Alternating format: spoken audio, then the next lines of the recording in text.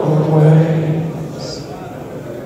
In passion it broke, I pulled it back from the grave, the soul away. I felt you so much today.